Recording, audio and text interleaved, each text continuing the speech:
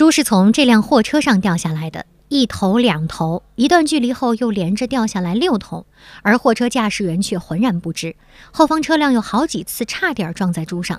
高速交警联系货车驾驶员，让他前方下高速，掉头回来。是老板呢？二十九头。怎么掉下来的啦？你开了几个人掉下来了。驾驶员说，年前消费高峰，一天要比平时多拉好几趟，这回是忙中出错了。年猪每头大概有三百斤，他可不想再被困在这个笼子里，奋力挣扎。交警、养护工人六七个人一起把猪抬上货车。